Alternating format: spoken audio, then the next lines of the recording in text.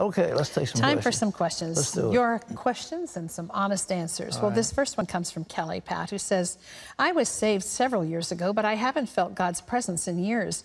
I see demonic visions and have severe attacks, almost as if something's trying to control me. Does this mean I've lost my salvation? I ask for forgiveness every day. I believe I need deliverance. Please help.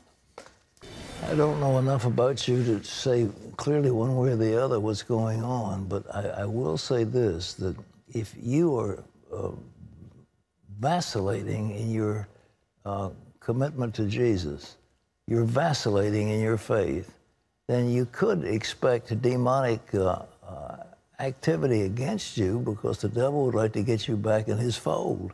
So the devil would do what he could to win you. There is a devil, there are demons, and uh, they, they can put thoughts in people's minds.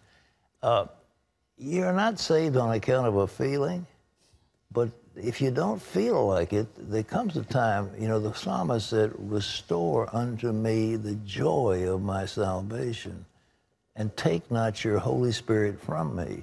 So the psalmist had sinned, he had engaged in adultery, he had had a person killed. I mean, he did, did some bad stuff. And he said, Restore unto me the joy of my salvation and take not your Holy Spirit from me. So he, he knew he had the Holy Spirit with him, but at the same time, the joy had departed. And th- I think that's something you have to remember. Your joy will leave if you're not living for the Lord. Mm-hmm. All right? This is a viewer who says, What is your opinion on covenants in the church? Recently, our church has pushed volunteers to sign covenants that support the leaders in their personal life and ministries, agreeing to be regular attendance on Sunday morning and to speak positively about the church wherever you go and to whomever you speak. From the info that I researched, a covenant in the church is supported nowhere in the Bible. What are your feelings about this? Well, I think it's the same thing. You're absolutely right. It's not supported. the idea of people coming together and signing a covenant that goes way back to the founding of America. the the first Constitution, in a sense, was a covenant. Me, of the people. So there's nothing wrong with uh, an organization entering into solemn compact, but I think what you're talking about in that church it far exceeds what we should expect, and to dominate somebody's thought processes is wrong. Okay, this is Julie who says, I'm a registered nurse who works for a local hospital and have been there for years. Recently, the hospital has made mandatory requirements for every employee to receive the flu vaccine yearly. If employees do not comply, then they're fired. I personally don't want to inject my body with loads of preservatives and toxins yearly, despite the quote benefit unquote of not getting sick. What should I do? Is this even ethical or legal? Yeah, it's both ethical. You're working for a hospital, for heaven's sakes, and they're pushing flu shots. Uh, I, I, I, don't have flu shots myself, uh, and I'm, I'm, I'm, not sure I want them, mm-hmm. and I'm not sure that you need to have them. But you're working for a hospital, and the hospital is pushing flu shots because it's easier to deal with people who've had flu shots than those who have flu. And so, what do you do?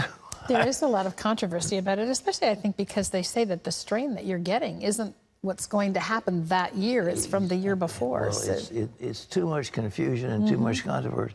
And I think for a, a, hospital to force the employees to do this, I think is wrong. Yeah. Okay. Okay, this is Tony who says, Pat, how can I tell if I'm beyond repentance, sinning over and over by trampling on the Holy Spirit? Honestly, I really did not know that the Holy Spirit dwells within us, but now I do know, for I've learned the hard way. I very much still desire to do God's will and desire to go to heaven if God will forgive me, a terrible backsliding, backsliding sinner. Look, all manner of sin and, and, uh, and evil can be forgiven the sons of men. And God is a forgiving God. Uh, I don't know what you're doing, but the big thing is he that knows the Lord doesn't keep on sinning. You don't keep on. It's continuing action in the Greek. You don't keep on doing it. And uh, you want to repent, God will receive your repentance. You can, it's like the thief on the cross. Who knows how many bad things he'd done, but he said, Lord, remember me when you come into your kingdom. And Jesus said, This day you'll be with me in paradise. So that one confession, that did it. But he was sincere in doing it, and presumably, if he had ever gotten down off the cross, he would have begun to live that way.